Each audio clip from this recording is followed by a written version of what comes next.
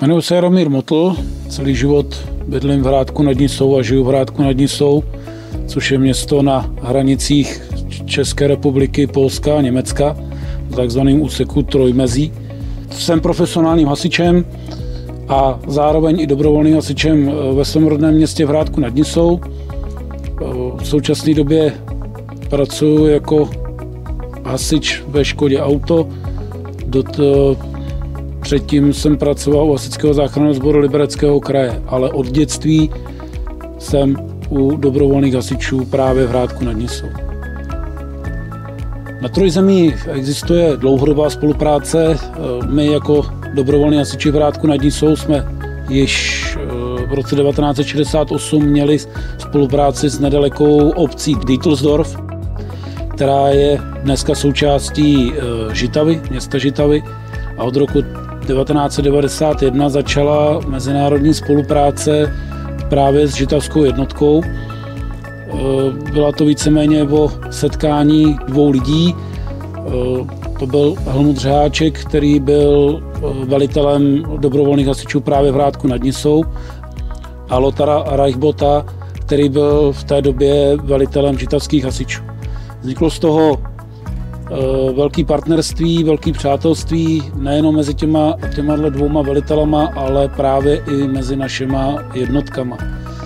Ta spolupráce se vyvíjela postupně eh, tak, že eh, byla komplikovaná ohledně přejezdu hranic, kdy v roce 1991 vzniknul pěší přechod, takže když jsme cvičili společně nebo zasahovali na jednotlivých územích, tak jsme přejížděli právě přes ten pěší hraniční přechod.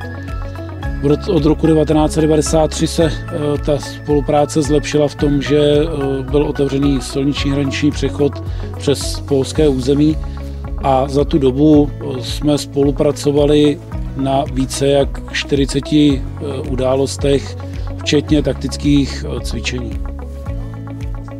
Za tu dobu naší zájemné spolupráce jsme měli několik projektů.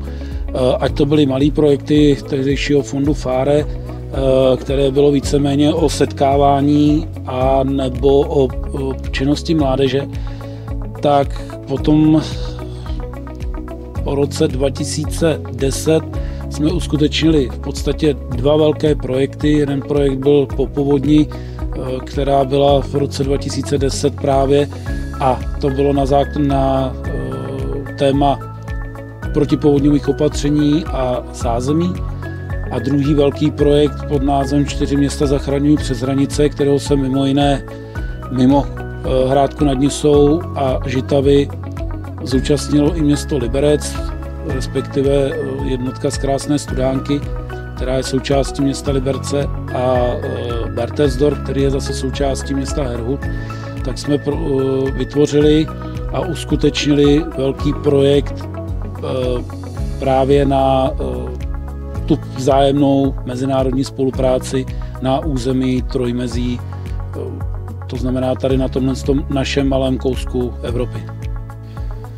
My v současné době připravujeme ještě jeden projekt pod názvem Klimatická změna nezná hranic. Je to v podstatě navazující projekt a právě například i v tomto projektu vidím takový ten posun a možnost se dál rozvíjet. Eh, je to i o poznání eh, těch hasičů, o, společných setkávání, o tom poznat tu práci i na té druhé straně eh, té hranice a v podstatě to přináší veliký rozvoj v tom, že nejsme na tom světě sami a že víme, že i ten oheň hoří všude stejně a paradoxně, eh, že si s tím ohněm dokážeme, nebo s těma eh, mezi mimořádnýma událostmi, že dokážeme v podstatě si poradit a je jedno, jestli jsme na český, polský nebo německý straně.